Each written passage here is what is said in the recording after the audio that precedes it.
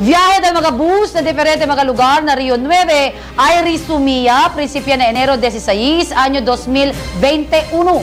Es el cosa ya anuncia el management de Zamboanga City Integrated Bus Terminal. El ruta del bus amo na ciudad de Zamboanga, Ipil, Pagadian City, y Dipolog City. En ese mga lugar pa lang asigun niya permiti el Land, Transportation, Franchising and Regulatory Board conduci el straight bus travel. Ya hace claro el LTFRB9, el viaje para na Cebu, Dumaguete, Bacolod, Cagayan de Oro y otro mga lugar afuera de Zamboanga Peninsula, hindi pata-permiti este mga tiempo.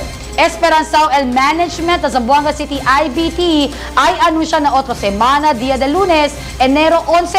El mga procedures y requ- y requirements. Que ta necesita para presenta el mga pasajero, quien quiere man viaje para na otro mga probinsya na Rio 9, como ya lang el comprada del tickets, schedule de mga viaje y travel requirements. Na kada destinasyon kere estos anda.